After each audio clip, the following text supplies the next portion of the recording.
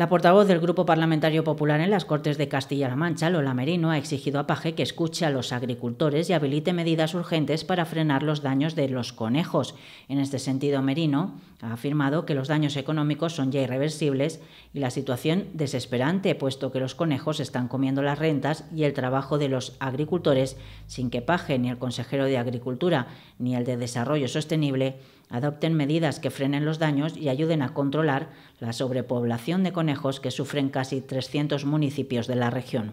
Merino ha indicado que la sobrepoblación de conejos no es un problema de los agricultores ni de los cazadores, sino que es responsabilidad de los gobiernos socialistas de Paje y Sánchez, que deben asumir, dice, su responsabilidad en las zonas de seguridad, zonas en las que no se puede cazar, que son de competencia regional o nacional y que sirven para la proliferación de los conejos.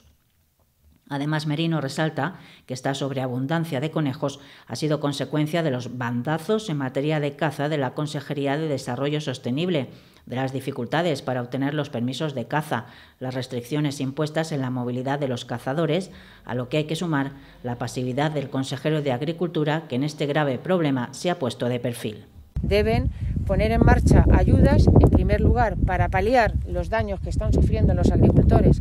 porque los conejos están su renta y por otra parte ayudas también para que todas esas inversiones que están haciendo los agricultores, que son los únicos que están poniendo medidas de prevención y de protección, pues también les sirva, en este caso, una ayuda por parte de la Junta para poder paliar, para poder paliar toda esa inversión que están haciendo más. Tenemos un problema grave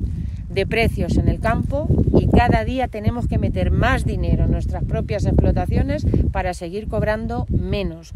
Una situación muy grave que dice Merino que se agravó con la borrasca Filomena, donde la superficie vegetal quedó totalmente cubierta por casi medio metro de nieve y que sirvió de trampolín para que los conejos se comieran los tallos más altos de las viñas en espaldera o las ramas de olivos, almendros o pistachos, provocando daños irreparables en el campo castellano manchego. Merino señala que hasta la fecha los agricultores son los únicos que están invirtiendo en la prevención de daños con protectores, vallados o repelentes, mientras siguen esperando que el gobierno de Paje mueva ficha.